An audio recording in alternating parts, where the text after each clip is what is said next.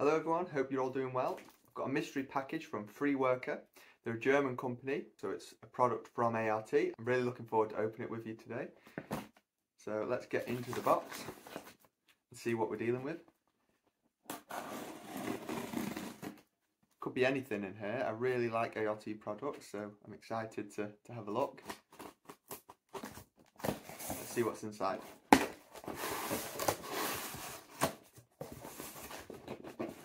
Oh wow guys.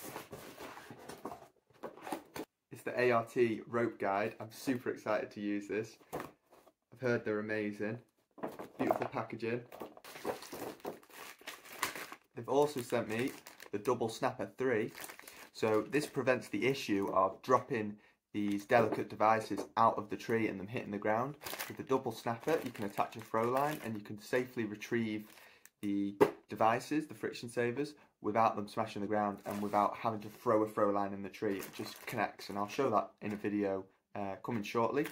But let's get into the main product here. So I do actually own a Petzl Eject.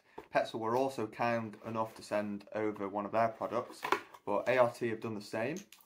And it's going to be really interesting to compare the two. Now, just in size, they're pretty similar, you know, it's got good sling size. You can go around some stems with this. You're doing some stem spar work on DRT. I like to climb on a SRT line and then a secondary DRT line, so this would be really cool to play with. I do have the ART rope positioner and I've been really impressed with that. Uh, so I'm sure this will be a similar quality.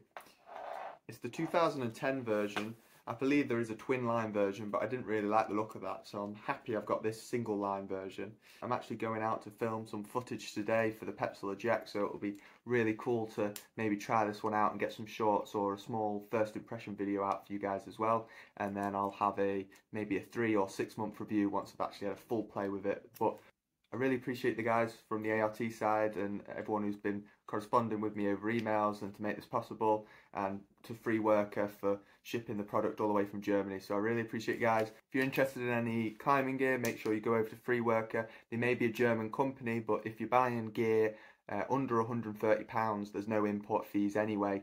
Um, so maybe for the cheaper items, you can even ship from them. They've got really good prices. So really appreciate that, guys. Hope you look forward to a video of me trying out the rope guide.